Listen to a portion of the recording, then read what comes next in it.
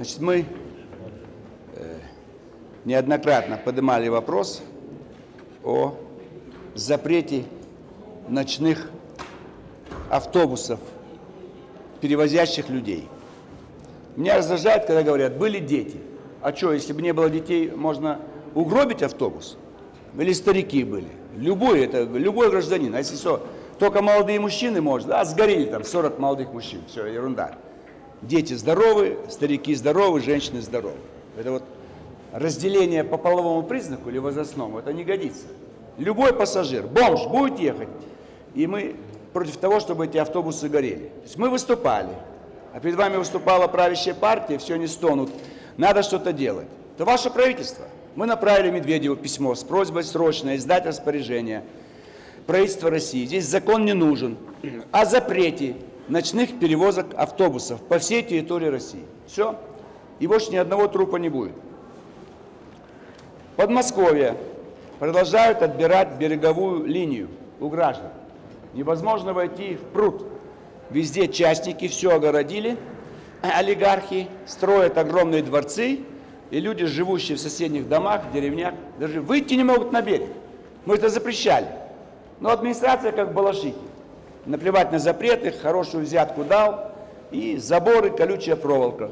Это вот Москва, Московская область, вернее. Там это происходит, поэтому надо, будем требовать наведения порядка. Дольщики, в понедельник были парламентские слушания. Самое радикальное предложение у ЛДПР. Вот этот закон мы примем. Мы поддержали в первом чтении, сейчас поддержим. Компенсационный фонд ничего не поможет. Потому что мошенники будут все равно собирать деньги, как и банкиры, и уходить за границу. 300 банков, ну где они, банкиры? Деньги увели за границу. Поэтому какая разница, что есть центральный банк, прокуратура, следствие, ФСБ. Может, у нас радикальный вариант. Передать все строительство жилья по стране министерству, Минстрой, ЖКХ. Они строят и гражданам в рассрочку продают. В рассрочку. Все. Есть деньги, купи квартиру полностью. Нет денег на 15 лет, на 20 лет. Нет денег, возьми кредит в банке. Но твой кредит. Не жилье, долевое участие, а ты собственный кредит взял. И плати за твой дом. Но ты живешь уже, тебя никто не обманет. Э, только это радикальное решение поможет избавиться от мошенников э, в строительной сфере. Иначе строительная пирамида. У нас была финансовая пирамида Мавроди, теперь строительная пирамида. У нас по линии строительства жилых домов. И, по-моему, еще транспортная пирамида. Вот это Вимаве. Что они сделали? Собрали деньги за пролет в Болгарию, и в другие страны. А самолетов нет у них. И сбежали. Ну что, вот транспортная пирамида. Денег нет, самолетов нет. Теперь другие авиакомпании будут перевозить наших пассажиров. И вместо отпуска нервотрепка. Значит, как остановить этот беспредел? Один аэрофлот. А что иначе делать? Что, был у нас трансаэро, ну где это трансаэро? Поэтому они же все время воруют. И тем более опасность, а что будут падать самолеты. Ну, вчера страшный дождь был, я впервые промок. Никогда я не промокал, до нитки. Внезапно дождь, так сказать, пролил, и я почувствовал, что значит промокнуть до нитки. Хорошо, у меня запасной костюм, туфли, ну, полностью я все сменил и переоделся. Но с другой стороны, э, впервые, значит, МЧС стала лучше предупреждать. Вот все эти последние штормовые предупреждения, все были заранее, даже, может быть, задолго до возможного. А вчера Мосгидромет, у нас претензии к ним. Даже я видел, что черная туча подошла к Москве. Но откройте окно, вы, чиновники Мосгидромета. Чего вы не предупредите, что через 20 минут начнется сильный ливень? Он начался.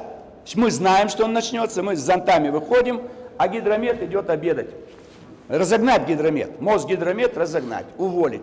Только за один вчерашний дождь. Не потому, что я промок, а потому что мы все в окно смотрим на небо. А у них, наверное, в подвале сидят они. Мозг гидромет.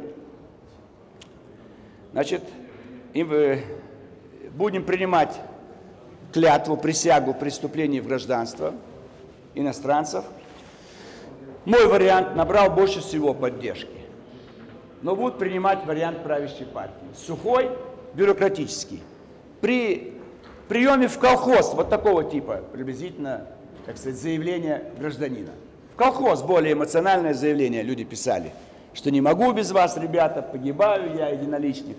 А здесь сухое, там, принимаю, обязуюсь, буду и так далее. У пионеров было вот, торжественное какое-то обещание при приеме в пионеры. Ну что делать, они большинство. Мы, я каждый раз говорил, вот с чем сравнить нашу страну и Запад? Почему Запад нас не любит? Я вам всем говорю, это исторический вывод. Мы деревня, а не город. Город всегда ненавидит деревню. Вот. Мы в лаптях да по паркету. Паркет в Европе, а мы в лаптях. Хотим, чтобы нас любили. Я даю им прекрасную клятву, присягу, они берут серый вариант. Мы документальное кино, Запад художественное кино. Люди хотят художественный фильм. Им нужна эта хроника убийств или еще чего-то. Поэтому это вот проблема. Мы сами виноваты. Большевики вырезали всю, так сказать, элиту, всю культурную часть. Это же с тысячу лет компонуется плодородный слой, как земля, чернозем. Почему? Потому что тысячу лет не пахали, не сеяли. Вот тебе всех убрали. И Шариковы идут вперед, так сказать. Конечно, это вызывает у людей не самые лучшие чувства. Агрохолдинги. Теперь царь мешал крестьянам землей владеть, помещики. Большевики кулаков истребляли, загоняли в колхозы. Теперь агрохолдинги. Слушайте, у вас полно земли. Что вы забираете землю у тех, кто ее имеет право быть на ней? Это их земля и работать. Нет, огромная, так сказать, система и перемалывает. У нас хватит, э, мы купим у всех продовольствие. Мы не будем завозить его. Нет, особенно на юге. Юг – мафия. При Брежневе была мафия, при Ельцине и сейчас. Мафия бессмертна. Вот пока они есть, я предложил, когда Ткачев там еще был губернатором, всех убрать, всю администрацию Краснодарского края. Вот не убрали, Кущевка осталась. Несколько человек посадили, а Кущевка, как заразный гриб, по всему краю, там находятся они. Вот. Ну вот, в Турцию мы открыли, теперь внутренний турпоток упал. Опять обогащается другая страна. Ну, потому что надо помочь, чтобы у нас везде были места отдыха. Азовское море пустует, Каспийское и Черное море 200 километров без пляжей. А турки все освоили. Почему? У турок не было советской власти и коммунистов. Они все предприниматели, все торгуют. Вот камень лежит, он его продает. Осел идет, он его погоняет, что-то везет. День и ночь работает страна. И никто никого не сгоняет никуда. Вот была у нас радиостанция «Русская служба новостей». Теперь Life News. С какой стати? Хорошее название. «Русская служба новостей». Почему? Чтобы поглотить слово «русское». И на чужом языке Life News. С какой стати? Мы будем требовать от министра связи, кто там дает частоты, вернуть старое название. РСН. Мы привыкли. А Life News это э, для сердца русского как бы не, не, не годится мы будем вносить предложение ввести в средней школе 12 класс. Вот надо тебе идти в ПТУ, 10 классов, дайте ему аттестат о среднем образовании. 11 готовится в университет. И 12 специализация, узкая специализация. Ты хочешь быть историком, вот давай, будете класс историков там, или группа, архитекторы, там, э, спортсмены, что вы хотите. Чтобы он увидел свою профессию, чтобы он не ошибся.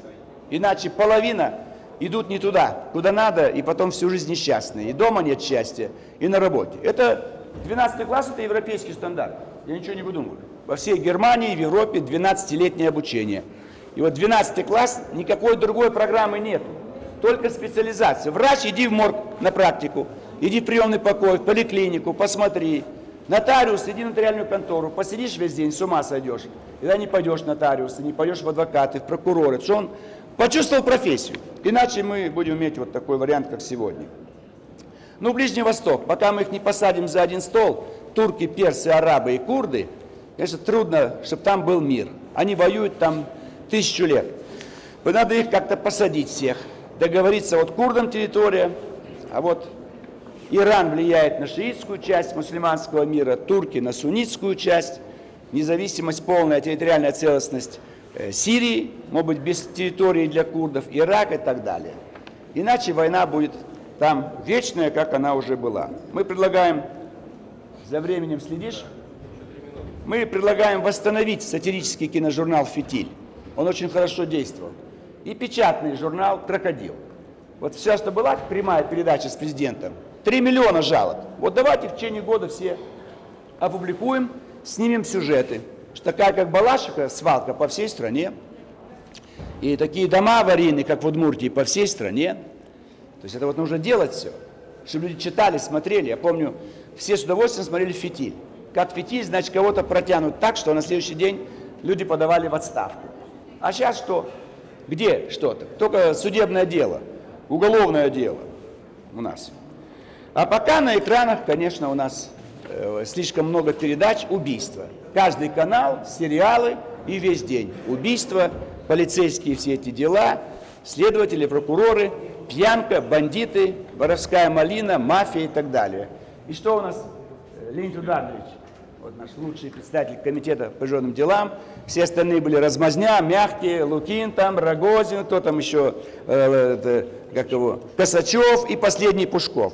Что сегодня будем голосовать по Киргизии? Сегодня в начале э, пленарного заседания мы будем рассматривать проект обращения Государственной Думы к президенту Российской Федерации по вопросу предоставления гражданам Киргизской Республики права управления транспортными средствами при осуществлении предпринимательской и трудовой деятельности. На пространстве СНГ есть только два государства, где русский язык конституционно является официальным Киргизии и вторым государственным в Беларуси. У нас э, большие проблемы на пространстве СНГ, особенно в регионе Центральной Азии, с русским языком. На наших глазах возрастает поколение уже сегодня молодых политиков, которые через считанные годы придут к управлению в своих странах, э, станут частью политических элит, которые плохо говорят по-русски. В этом случае все наши великие интеграционные проекты, Евразийский экономический союз и прочее, ожидает судьба Вавилонской башни. Русский язык – это цементирующая основа русского мира. И в Киргизии, надо признать, прекрасно действуют русские школы. Мы построили э, Российский фонд мира. Владимир Вольфович долгие годы отдал Советскому фонду мира. Э, школу имени Чехова в Бишкеке, на юге, в Джалалабаде, в Аше. Русские школы начали вновь открываться, строиться. Поэтому э, мы обращаемся к президенту с просьбой разрешить снова гражданам Киргизии использовать свои национальные водительские и международные водительские удостоверения, существующие у них при осуществлении трудовой или предпринимательской деятельности в России. И надеемся, что все фракции в составе Государственной Думы поддержат это обращение ради великого русского языка. Спасибо. Фракция ЛДПР поддержит. Все. До свидания. Вопросов нет?